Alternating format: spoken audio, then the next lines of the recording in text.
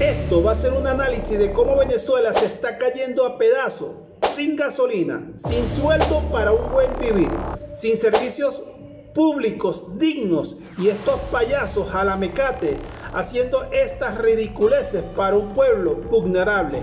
Véanlo.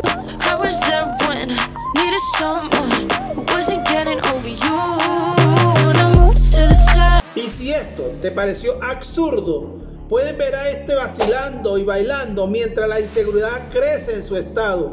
Y sin hablar de los hospitales que no sirven para nada. Véanlo. Suéltale para ahí que lo que tiene, mi muchacho loco.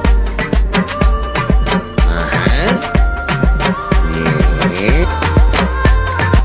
Y el pase para que lo que. Ahí está, mierda. Papá. El pulquitaqui. Taqui, taqui. Esto se está saliendo de control.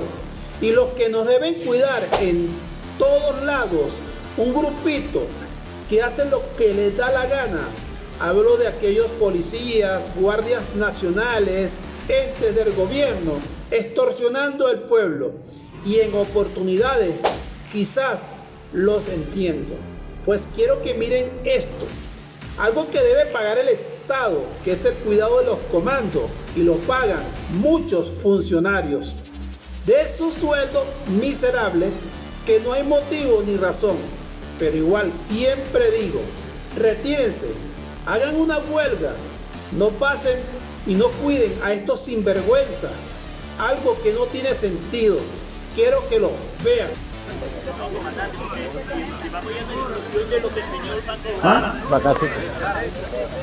de, de esa cantidad que nos estaban cobrando hasta el otro año, que fue paulatinamente, lo, lo fueron incrementando cada, cada un mes o cada dos meses, cuando llegó a ese, a ese cobro que nos estaban cobrando. Y ahorita no quieren cobrar 3 dólares, nosotros no cobramos a base de dólares. Yo quiero que entienda eso. Y nosotros, que somos una de las de la partes más perjudicadas, que no perseguimos ni siquiera los estatiques, que nos desmejoraron, ¿cuánto sería el salario de nosotros si yo lo que cobro son 315 bolívares? Me quita el casi 90 bolívares Ok, y cuánto voy a quedar. ¿Cuánto? No, ya, comandante. Con el debido respeto que se merece. Para eso necesitamos. Por eso para estamos que aquí. pongan, pongan para Yo creo- esto clandestino.